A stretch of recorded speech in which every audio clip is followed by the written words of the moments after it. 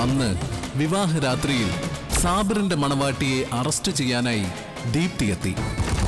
ഇന്ന് രോഗശയ്യയിലായ സൂരജിനെ തേടി സാബിർ എത്തുന്നു. അറസ്റ്റ് വാറണ്ടുമായി. വിധി ഊതിക്കത്തിച്ച പഞ്ചാഗ്നിക്ക് നടുവിൽ വിഹ്വലയായി നിൽക്കുകയാണ് ദീപ്തി. പരസ്പരം തിങ്കൾ മുതൽ ശനി വരെ രാത്രി എട്ട് മണിക്ക് ഏഷ്യാനെറ്റിലും പിന്നെ എപ്പോഴും ഹോട്ട്സ്റ്റാറിലും.